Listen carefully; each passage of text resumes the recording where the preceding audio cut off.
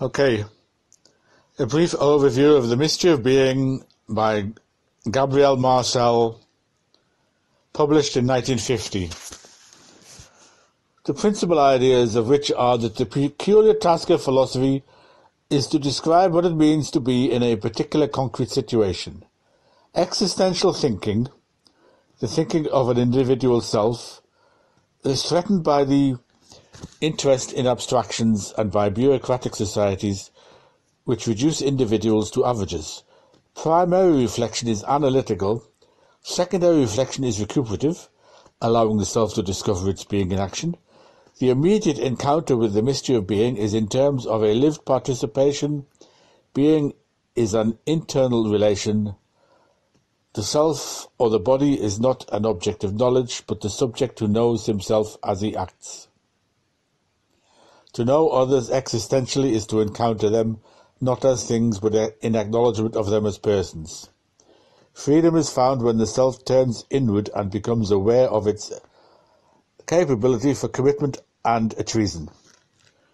Gabriel Marcel is one of the main figures associated with existential thought in France.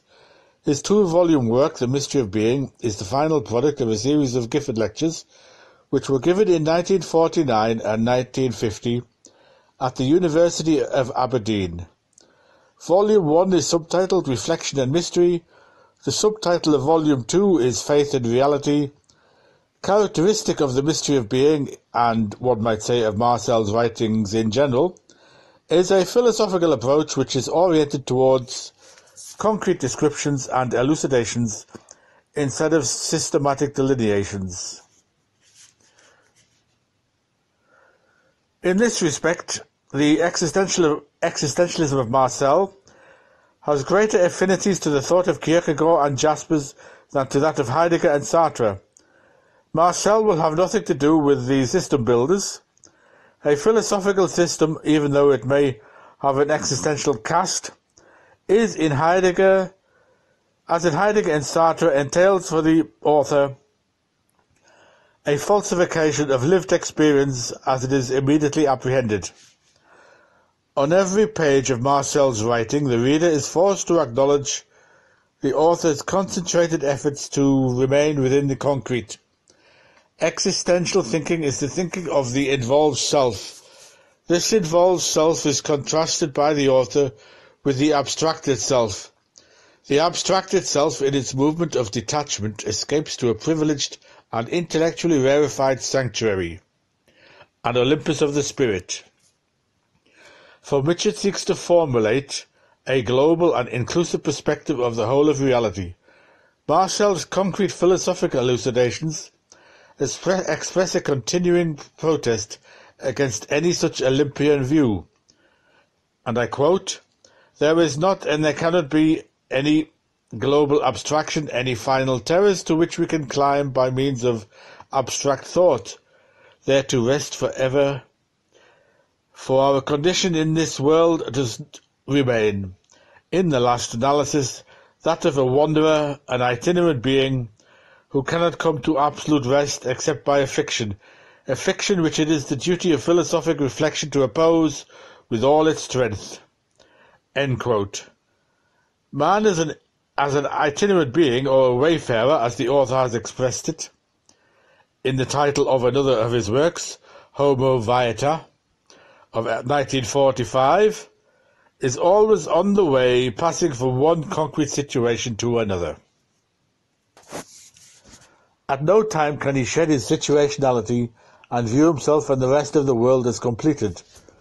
There is no Denken Überhaupt which can tear itself loose from the concrete situation of the involved self and lay a claim for universal validity. This, for Marcel, as already for Kierkegaard, is the grievous fault in all varieties of idealism. Idealism fails to recognize the situational character of all human thinking. The philosophical reflection which the author prescribes is a reflection which retains its existential bond with the concrete situation. The peculiar task of philosophy is that of describing what it means to be in a situation. The task is a phenomenological one, phenomenological in the sense that it takes its points of departure from everyday lived experience and seeks to follow through the implications which can be drawn from it. Concrete existence is lost in the abstract movements of a detached reflection, but it is also threatened by the pervasive bureaucratization of modern life. In the chapter entitled A Broken World, Marcel develops a penetrating analysis of the disillusion of personality in the face of increased social regimentation. Man stands in danger of losing his humanity. Our modern hum- bureaucratized world tends to identify the individual with the state's official record of his activities. Personality is reduced to an identity card. In such a situation, man is defined in terms of replaceable functions rather than acknowledged as a unique and irreplaceable self. Creative activities are standardized and consequently depersonalized. Everything, including man himself, is reduced to a stultifying law of averages in one passages. The author speaks of an uh, equality which is obtained by a process of leveling down to a point where all creativity vanishes. The language and theme are reminiscent of Kierkegaard's social critique in The Present Age of 1846, in which he indicted the public for having effected a levelling process that virtually made the category of the individual extinct.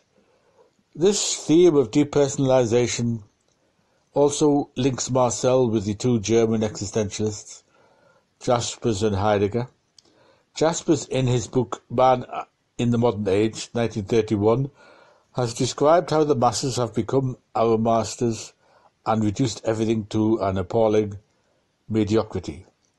Heidegger, in his notion of Das Man, has expressed basically the same theme in a later work, Man Against Mass Society, of 1952. Marcel gives special attention to this phenomenon, elucidating it in the in a descriptive analysis which is rich and penetrating. The leading question in Marcel's philosophy of the concrete is the question, Who am I? Only through a pursuit of this question can man be liberated from the objectivizing and tendencies in modern thought, and return to the immediacy of his lived experience. Reflection will illuminate this lived experience only as long as it remains part of his life. The author defines two levels of reflection, primary and secondary. Primary reflection is analytical and tends to dissolve the unity of experience as it is existentially disclosed to the involved self. Secondary reflection is recuperative and seeks to reconquer the unity that is lost to primary reflection. It is only with the aid of secondary reflection that man can penetrate to the depths of the self. The Cartesian cogito is derived by primary reflection, and therefore it is viewed as a mental object somehow united with the fact of existence. But this abstract reflection is already at a second remove from the reality of pure immediacy. If the I exist is to provide the Archimedean point, then it will need to be retrieved in its indissoluble unity as an immediate datum of secondary reflection. Existence, as Kant has already shown in his Critique of Pure Reason of 1781, is not a property or a predicate which can be attached to a mental object. Existence indicates an irreducible status in a given sensory context. Secondary reflection uncovers my existence as it is sensibly experienced in act. This apprehension of my existence in act is what Marcel calls the existential indubitable. In asking about myself, I am disclosed as the questioner in the very act of posing the question. It is here that we find ourselves up against existence in its naked there-ness. The living body is for the author a central phenomenon in secondary or recuperative reflection. Secondary reflection discloses my existence as an unincarnated existence. An existence which is tied to a body which I experience as peculiarly and uniquely my own. The existential indubitable is manifested in the experience of my body as it actually lives. Primary reflection tends to dissolve the link between me and my body. It transforms the me into a universal consciousness, and my body into an objectified entity, which is in fact only one body among many others. The original unity of the experience of myself as body is thus dissolved. Primary reflection takes up the attitude of an objectivizing detachment. The body becomes an anatomical or physiological object, generalized as a datum for scientific investigation. It becomes evident that the Cartesian dualism of mind and body springs from primary rather than secondary reflection. The body in Descartes' philosophy is the substantive entity which has been objectivized and viciously abstracted from the concrete experience of the living body as intimately mine. Secondary reflection apprehends my body as an irreducible determinant in my immediate experience. On the one hand, my body is disclosed as something which I possess, something that belongs to me. But as I penetrate deeper, I find that the analogy of ownership does not succeed in fully expressing the incarnated quality of my existence. The analogy of ownership still tends to define the relationship of myself to my body as an external one. It defines my body as a possession which is somehow accidental to my inner being, but this is not so. My body is constitutive of my inner being. Properly speaking, it is not something which I have. It designates who I am. And I quote, My body is my body, just insofar as I do not consider it in this detached fashion, do not put a gap between myself and it. To put this point in another way, my body is mine insofar as for me my body is not an object for, but rather I am my body. It is at this point that the author's distinction between being and having becomes relevant. The phenomenon of being can never be reduced to the phenomenon of having. In having, the bond between the possessor and the possessed is an external relation in the phenomenon of being, the bond is an internal rather than external one, and is expressed by Marcel in the language of participation. Man has or possesses external objects and qualities, but he participates in being. The implications of this philosoph- of this phenomenological distinction for the immediate awareness of the living body are evident. On one level of experience, my body is something which I have to possess. It is a material complex which is attached to myself and defines me as a self with a body. But on a deeper level of experience, I am my body, and I am my body in such a way that the simple materiality of my body as a possession is transcended. I exist as a body, as an incarnated being for whom the experience of body and the experience of selfhood are inseparable inseparable phenomena. Speaking of my body is a way of speaking of myself. The body is such a view, in such a view is externalized. The body in such a view is existentialized. It is no longer an object possessed by a subject. It is apprehended as a determinant of subjectivity. The immediate encounter with the mystery of being is thus in terms of a lived participation the idea of participation, says the author, had taken on importance for him even in the days of his earliest philosophical gropings. Although the language of participation would seem to betray a Platonic influence, the author makes it clear that the idea of participation includes more than an intellectual assent. Indeed, the foundational mode of participation is feeling, inextricably bound up, as we have seen, with the bodily sense. The Platonic dualism of mind and body with its, perver- with its perverted intellectualism and depreciation of the senses could not admit the existential quality of participation which, Martis- which Marcel seeks to establish. Marcel's favoured illustrations of feeling as a mode of participation are his illustrations of the link between the peasant and the soil and the sailor and the sea. Here he says we can grasp what participation means. The peasant's attachment to the soil and the sailor's attachment to the sea transcend all relationships of simple utility. The peasant does not have the soil as a simple possession. The soil becomes a part of his being. He becomes existentially identified with the soil. A separation of himself from the soil would entail a loss of identity and a kind of incurable internal bleeding. This bond through participation expressed in the link between the peasant and the soil points to the fundamental relation of man to the mystery of being. In Marcel's philosophy of participation, the notions of intersubjectivity, encounter, and community are decisive. In the second volume of The Mystery of Being, the author seeks to replace the Cartesian metaphysics of I think with a metaphysics of intersubjectivity which is formulated in terms of we are. Philosophical reflection, he argues, must anticipate its inquiry from the solipsism of an isolated epistemological subject or a transcendental ego. My existence is disclosed only in the context of a living communication with other selves. The more I free myself from the prison of egocentrism, concludes the author, the more do I exist.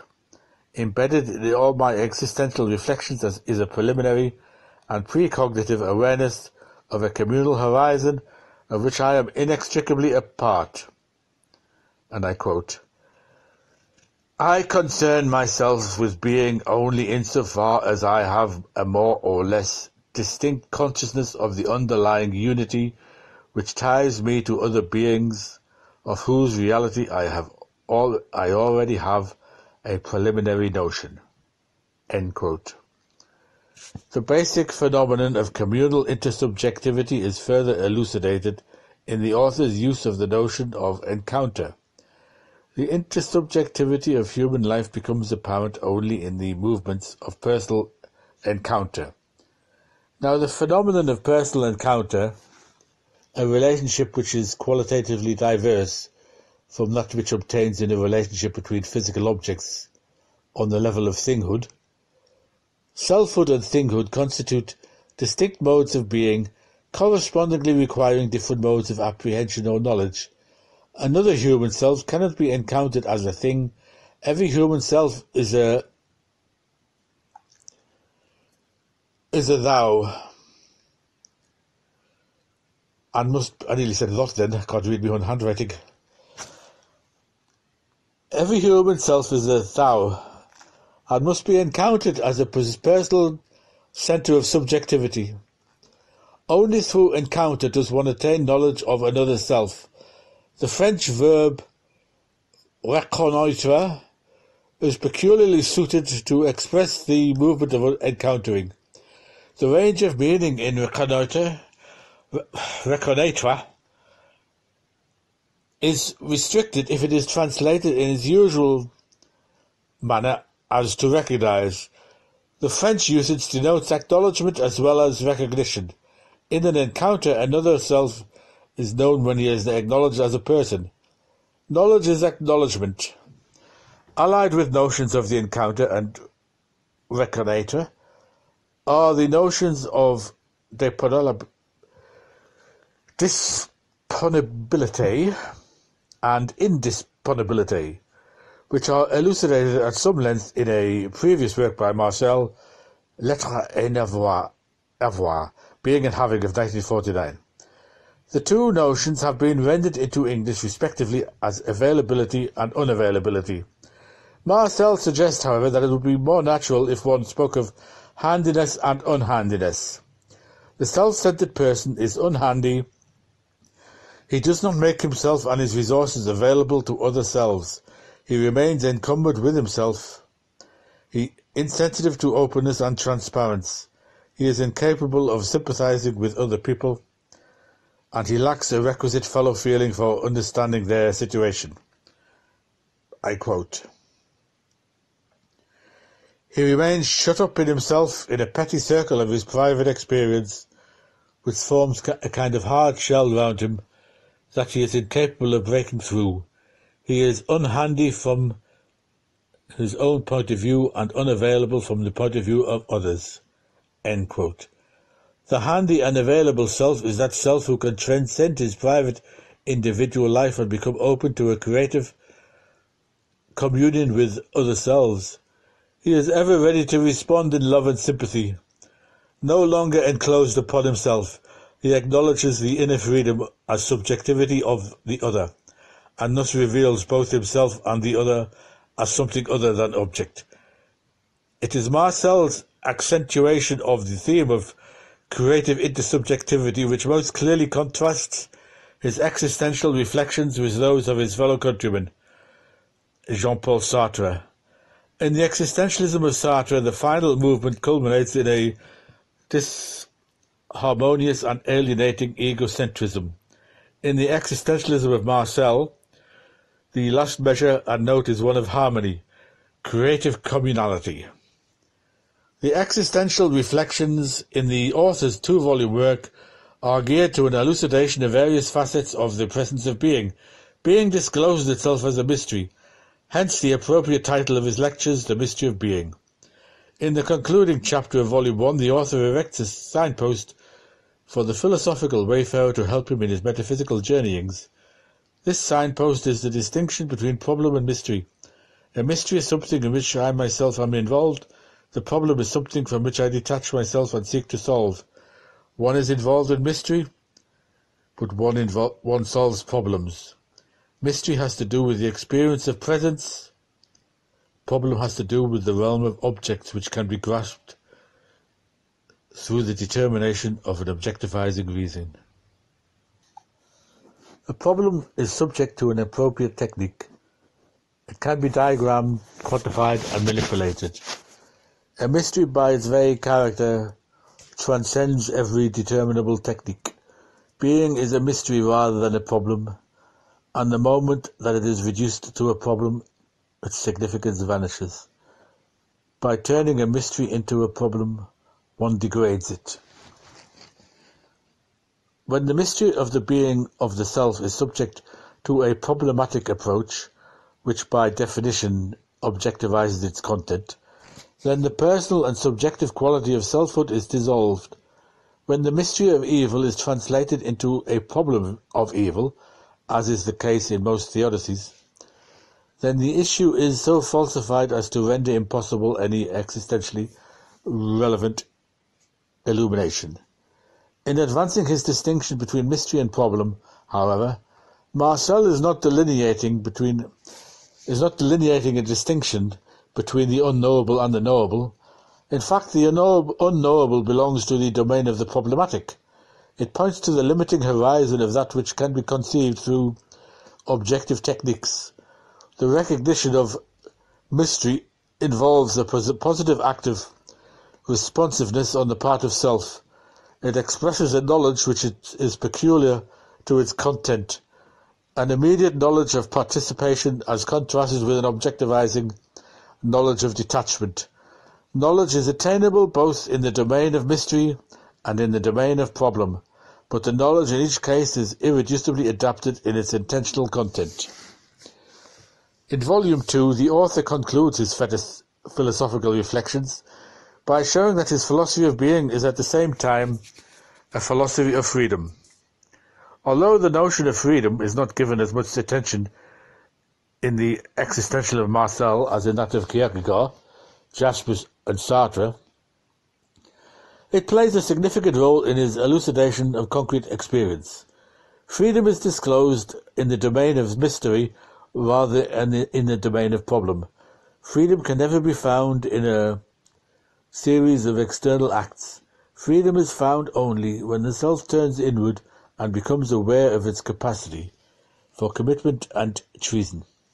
Freedom is disclosed in the subjective movements of promise and betrayal. I am free to uh, to bind myself in a promise, and then I am free to betray the one who has take, taken me into his trust. Freedom is thus disclosed in both its creative and destructive implications. Both fidelity and treason are expressions of a free act. This freedom, which is experienced only in concreto, moves within the mystery of man's inner subjectivity.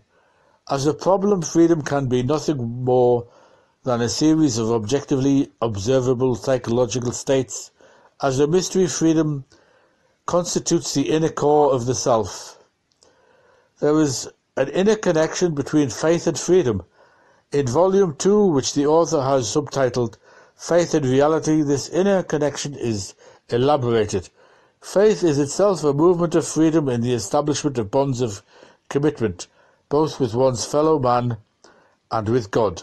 Faith is thus described as trust rather than an intellectual assent to propositional truth. Marcel distinguishes between believing that and believing to. Sorry. Marcel distinguishes between believing that and believing in. Faith is not a matter of believing that. It is not oriented toward propositions which correspond to some objective reality. Faith is expressed through believing in. To believe in another person is to place confidence in him. In effect, this is to say to the other, I am sure that you will not betray my hope, that you will respond to it, that you will fulfill it. Also, to have faith in God is to establish a relationship of trust in Him. Man is free to enter into a covenant with God, invoking a bond of trust and commitment, but he is also free to betray him and revoke the covenant. Faith and freedom disclose the need for transcendence. Transcendence for the author is not simply a horizontal transcendence of going beyond in time, as it is for Heidegger and Sartre. Transcendence has a verbal dimension as well, a going beyond to the eternal. The experience of transcendence is fulfilled only through participation in the life of a transcendent being. Marcel's philosophy of being, unlike that of Heidegger and Sartre, is not simply a philosophy of human finitude. It seeks to establish a path which reaches beyond the finite and temporal to the transcendent and eternal.